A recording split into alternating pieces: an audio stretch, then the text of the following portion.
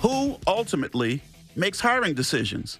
That's what Baltimore City Councilman and Chairman of the Baltimore City Council Committee hearing the Safe Streets uh, testimony yesterday, Councilman Isaac Yitzy Schleifer was asking of Stephanie Mavronis, who is now, Bryan, the leader. She's the Shantay Jackson now of Mm-hmm. the uh, uh, MONSE Group, Mayor, Mayor's Office of Neighborhood Safety Engagement, who oversees all this. I know it's a bunch of acronyms, a whole bunch of stuff. But anyway, who makes the decision of hiring? And Stephanie Mavronis told the city council last night the community based organizations make the hiring decision. Now, who are they? Now, of course, this is uh, LifeBridge Health and it's the uh, Catholic Charities. So then Councilman Schleifer went on to ask, okay, so how are they vetted? Well, the Baltimore City Police Department does the vetting for them. Okay. So then, okay, so that means then the CBOs work with the Baltimore City right. Police Department to do the vet. It's very convoluted and everything else. So the people who actually hire them Mm-hmm. are not doing the vetting. No. They're farming that out to the Baltimore BPD. Police Department. Correct. The police department, who we say has very little to do with Correct. safe streets. You got it. And You're getting MONSE it. has a, a I guess, a, a, a criteria that they look at to determine Sure. what will say that you are not allowed to be in. We did learn that yesterday. I thought that was kind of interesting. There are automatic exclusions. So if you have uh, a sexual offense, Exactly. if you've uh, abused a child, Correct. or if you've committed an arson, Correct. then you would automatically. Gun be- crimes be aren't on there, Gun though. crimes are. You can shoot somebody. That's not on This- there. It, is, you, it is kind of strange. Like, all right, if you if you set something on fire, Right. Yeah, we can't accept you. But if you shoot somebody in the head, you know, well, Bryan, we'll these are technical decisions made. We also find out how much safe streets workers make. Uh, violence interrupters, the ones we hear about in the streets, they make forty-five thousand. Okay, Mm-hmm. is their amount. Fifty thousand is for a site supervisor, and then for the actual site director, it's sixty-five thousand. So at least we know Right. the financial levels involved with this. Another thing we know we had not known before is the ten safe street sites. How many people work at these places? Remember, we heard there were five safe streets workers at the Brooklyn Homes site when uh, with, with the Brooklyn uh, party, uh, Black Party. Well, the minimum number is seven at any of these 10. Now, a couple of them had, like Cherry Hill has eight, Brooklyn Homes has eight, Sandtown Winchester actually has 11 Safe Streets work. They have the most that work there, but none of them have below seven. We also found out yesterday, Bryan, that the Bel Air uh, uh, location where the FBI raided and they have one guy they've taken into custody for, for stuff, they have one person now working at that site, and they don't go out in the street and do anything. They just basically are holding down the office. Is that right? They're just yeah. hanging out in yeah, the office. Yeah, just waiting for it to be restaffed. Because there are 20, 20 openings to be restaffed. Well, they can't work. They have to be because they have to have a partner to be out with. It's Uh, like it's it's not that safe, is what they said. They, they're like going out in groups to do what they do. you got to be Ponch and Jon. You got to work with somebody together in order to get out of, out of the got uh, a buddy office. group just in case they do dangerous stuff. Now here is where we get outside of all the personnel stuff. Here's where we get to the meat and potatoes and everything. Baltimore Councilman Isaac Yitzy Schleifer asked a question that most of us want to know: Mm-hmm. If Safe Streets workers in their interrupting process come across somebody with a gun, what do they do? Exactly. Do you know what they do, Bryan? Uh, I do not know what. They Okay, do. What let do me tell you what, they happens? do. The Safe Streets workers, according to Stephanie Mavronis, are not police. So she prefaced it was a long preface, Mm-hmm. so you got to stay with me. They're not police officers. They are there to act as interrupters and to basically uh, reduce the temperature. In other words, you get to the end of what she had to say, they don't do anything. Okay. So they don't have to report that somebody has a gun or is They are prohibited are from prohibited. reporting. They're not allowed to. They're not report it. allowed to report because that then places them in jeopardy at that point. Well, that's weird.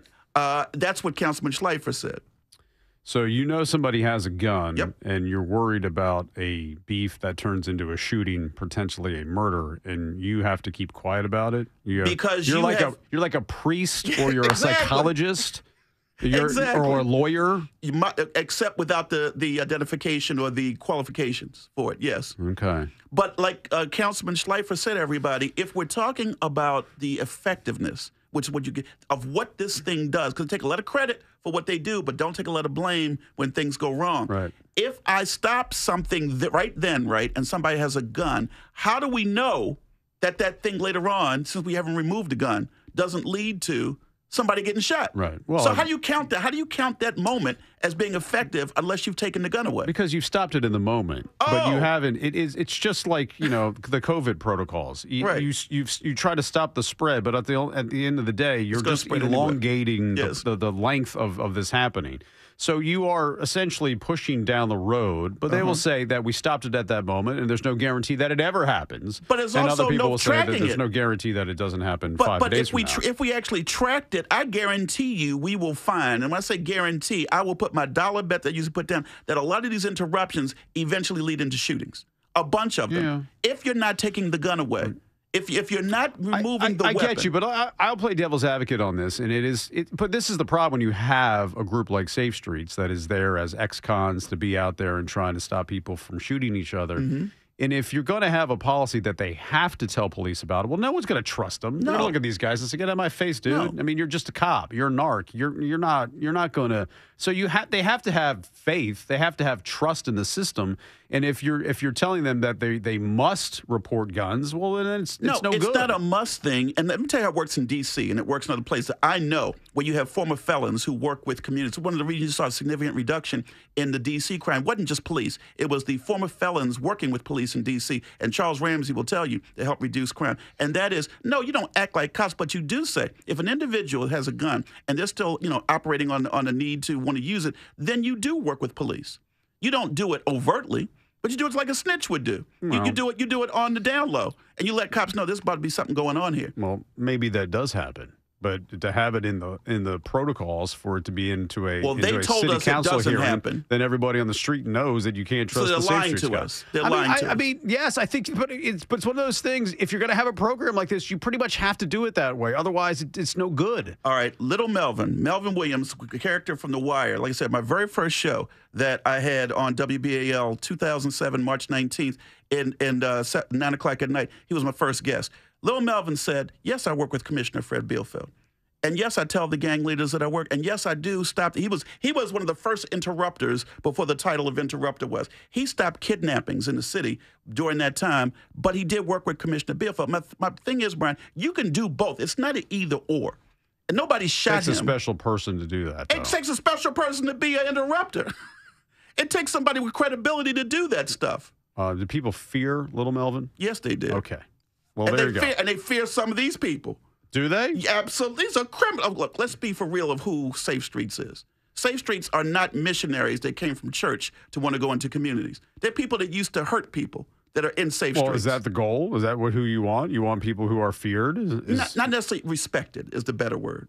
Respected Well- by the people that carry guns. Um, it's a messy, it's a messy organization when it comes to you know, protocol and morality and ethics and how th- this But works. Bryan, you're you've got hiring to- ex-cons to work with people who are, are. criminals or potential criminals But it's to stop those them cities. from shooting. Amer-I-Can program in L.A. J- J- uh, Jim Brown, his group helped reduce the gang problem between the Crips and the Bloods significantly. It can work when you work with people on the other side of the street. And what I'm saying is, is that I think there is a wink, wink, nod, nod that if something is really bad, that you that they do work with cops. I don't But- believe but who that. knows?